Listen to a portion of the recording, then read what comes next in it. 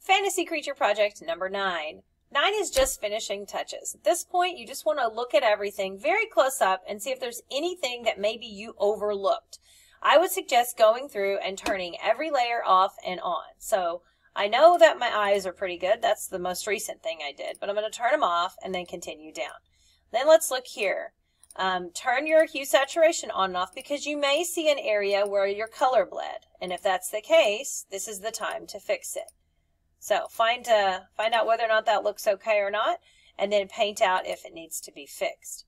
Um, and then of course we've got our textures. If you did your textures, you want to just make sure that those are not bleeding off of, again, your subject, like mine is over here on the left. So I can see on this arm, we definitely have some problems. So I'm going to take my black paintbrush and I'm going to go through and make sure that I do not have any little excess areas that should not be.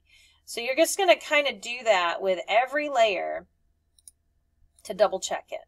So as you find something that's wrong, take the time, make sure you're on the right layer because I'm on the wrong layer. Take the time to go now and fix any of those little areas.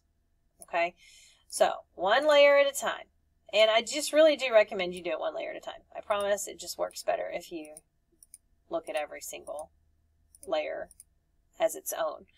Um, check your levels. Again, if you've added any special features somewhere, like here I have my levels going on on my antlers. So That looks okay.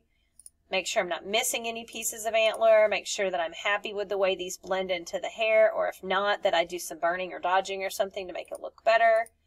I'm still not super loving the ear, especially that I have it coming out through the back. I don't know. I guess that's more realistic, but it kind of bothers me. But I'm going to let it go. Um, Again, with your colors, make sure that they look okay.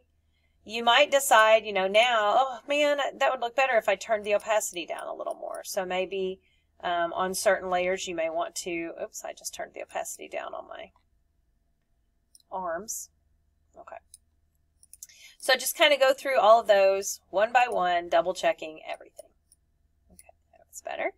Um, the other thing you might want to do on this last step is to consider like some shadows a little bit.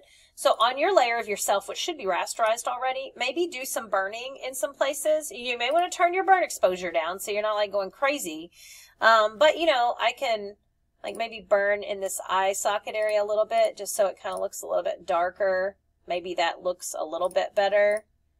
You know, like there's eye sockets are in there. Um, and you may have other areas like under your neck, go a little darker in here.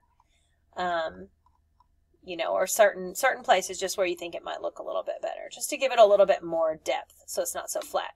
Uh, reconsider things. There may be something that you decide you don't want. Like I absolutely hate this nose thing that I put on here, so I'm just going to take it off. I think it's just better with a no nose than it is from having that one.